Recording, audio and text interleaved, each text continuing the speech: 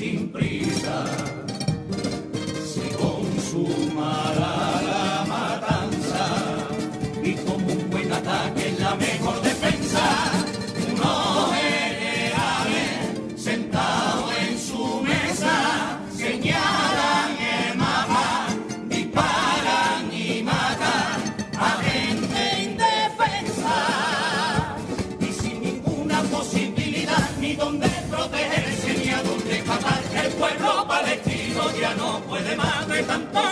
y saben que su muerte es cuestión de suerte o es cuestión de tiempo. Sin agua, sin comida, sin casa ni hospitales, sin ayuda de nadie, le van dando casa como a los animales. Y está quedando claro que en el mundo cristiano los niños palestinos valen mucho menos.